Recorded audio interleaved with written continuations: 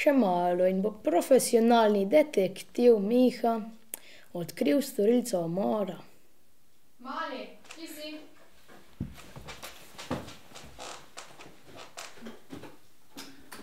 Pa kaj si spet te svoje detektive špilaš? ne, samo sem si Pa mislil, idi ven, glej, kako je lepo vreme, fust baje špilat.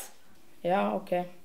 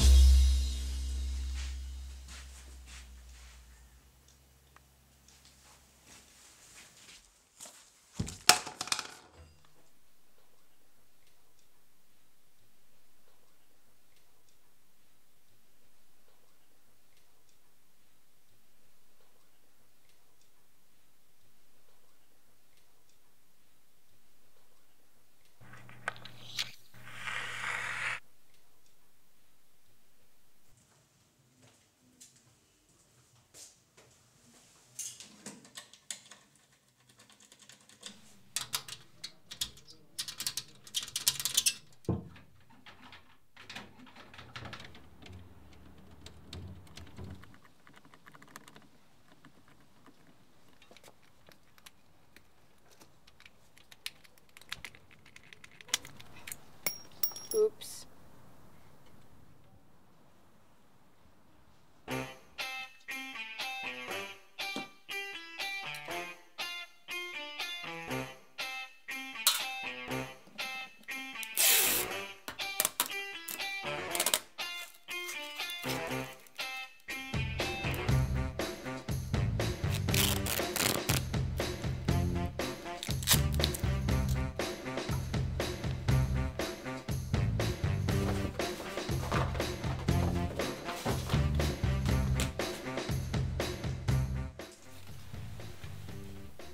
A imaš mogoče sekundno lepilo?